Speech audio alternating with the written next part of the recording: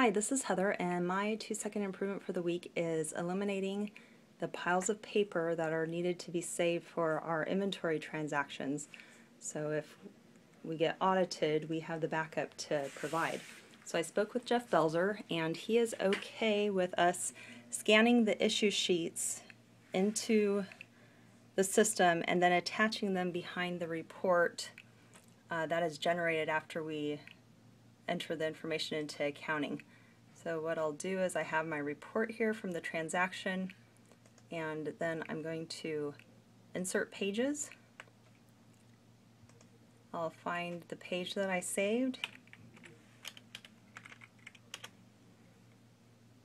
and attach it behind the report. So here I have my report page and then I have all the backup information behind it. And that is my two second lean. Thanks. Bye.